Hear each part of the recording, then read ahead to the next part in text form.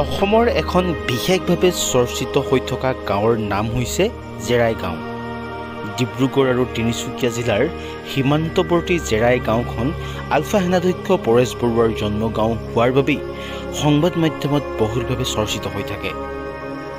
কিন্তু এইবাৰ জেৰাই গাঁওখন এগৰাকী মহিলাৰ বাবে বিশেষভাৱে চৰ্চিত হৈছে। কঠোৰ পৰিশ্ৰমী মহিলাগৰাকীয়ে একক প্ৰচেষ্টাত আৰম্ভ কৰা মিঠাতেল উৎপাদন কৰা কাৰ্যটোৱে তিনিচুকীয়া চাবুৱা পানীতোলা আদি অঞ্চলত চৰ্চা লাভ কৰিছে। খাটি সৰিয়হৰ পৰা খাটি মিঠাতেল উৎপাদন কৰি এইগৰাকী কৰ্মোদ্যমী মহিলাই বিভিন্ন অঞ্চলৰ বজাৰ দখল কৰিবলৈ সক্ষম হৈছে।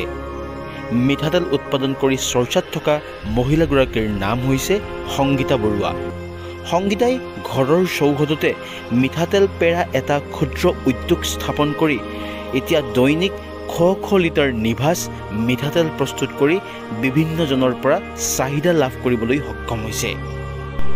নিজৰ পৰিয়ালটো দৈনিক সুন্দৰভাৱে পৰিচালনা কৰাৰ পিছত সকলো কাম বন সামৰি সংগীতাই ব্যস্ত থাকে মিঠাতেল উৎপাদন কৰা কাৰ্যত।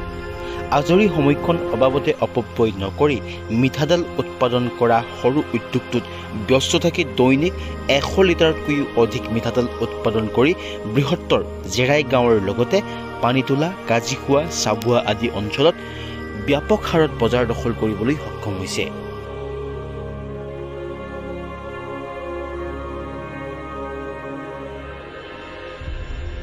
পিছৰ বাৰু যদি কাৰেণ্ট থাকে। এক কুইণ্টেল মান উৎপাদন কৰে। আৰু আপোনাক ক'ত বিক্ৰী কৰিবলৈ পঠাইছে? চাবোৱা? তিনিচুকীয়া। পানীতোলা তিনিচুকীয়া। এনে বহুত কাম আছে উইভিং আছে আচাৰ বনোৱা জুচ বনোৱা। সকলোৱে কৰোঁ। ৰাইজে। ৰাইজে ভালে পাইছে। অৰুণাচল প্ৰদেশৰ পৰা সৰিয়হৰ বীজ ক্ৰয় কৰি আনি সংগীতাই ঘৰতে প্ৰস্তুত কৰা মিঠাতেলসমূহৰ মানদণ্ড নিৰ্ভেজাল হোৱাৰ বাবেই বহুজনে সংগীতাৰ মিঠাতেল ক্ৰয় কৰিবলৈ আগ্ৰহ প্ৰকাশ কৰে যাৰ বাবে এই মিঠাতেল বিক্ৰী কৰি সংগীতাই নিজে আত্মনিৰ্ভৰশীল হ'ব পাৰিছে। লগতে দুজনকৈ নিবনুৱা ব্যক্তিকো দিব পাৰিছে কৰ্মসংস্থাপনৰ বাট।